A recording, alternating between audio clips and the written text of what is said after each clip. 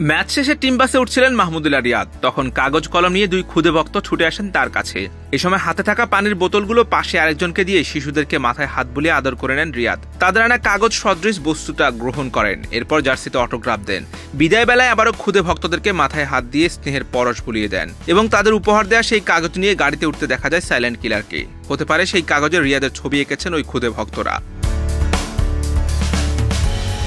প্রথম ওয়ানডেতে জয়নায়ক মুশফিকুর রহিম ও ক্যাপ্টেন নাজমুল হাসান শান্ত একসঙ্গে টিম বাসে ওঠেন। মুশির হাতে ছিল ব্যাট আর মুখে হাসি। ক্যাপ্টেন অবশ্য চুপচাপ ছিলেন। টি টোয়েন্টি সিরিজ হারের পর এই জয়টা নিশ্চয়ই স্বস্তি দেবে টাইগার অধিনায়ককে। ওয়ানডে সিরিজটা হারিয়ে টি টোয়েন্টি সিরিজ হারের প্রতিশোধটাও নিতে চাইবেন। এদিন সবার আগে ড্রেসিং রুম থেকে বের হন তাওহিদ হৃদয়। তার পেছনেই ছিল তানজিদ হাসান তামিম। রিশাদ হোসেন, সৌম্য সরকার, মুস্তাফিজুর রহমানরা বাসে ওঠেন একসঙ্গে। ফিজিওর সঙ্গে কথা বলতে বলতে মাঠ ছাড়েন Liton Kumar Das. Head coach Chandika Hathurusingha bowling coach Andre Adams একসঙ্গে ড্রেসিং রুম থেকে বের হন। সবাইকে দেখে মনে হলো প্রথম ওয়ানডে জয় অনেকটা নির্ভার দ্বারা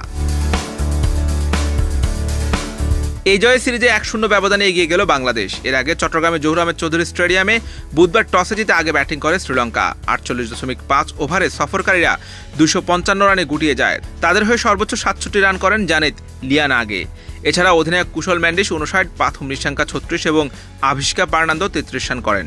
বাংলাদেশের হয়ে তিনটি করে উইকেট পেয়েছেন তানজিম হাসান সাকিব, শরীফুল ইসলাম ও তাসকিন আহমেদ। জবাবে রান তাড়ায় শুরুতে দ্রুত উইকেট হারিয়ে বিপর্যয়ে পড়ে যায় বাংলাদেশ। দলীয় তেইশ রানের মাথায় পতন হয় তৃতীয় উইকেটের চতুর্থ উইকেট জুটিতে শান্তর সঙ্গে উনসত্তর রানে জুটি করেন মাহমুদুল্লাহ রিয়াদ। রিয়াদের বিদায়ের পর বাকি কাজ সামলেছেন শান্ত ও মুশফিক। তাদের বীরত্বে হারতে বসা ম্যাচটা জিতে মাঠ ছাড়লেন টাইগাররা।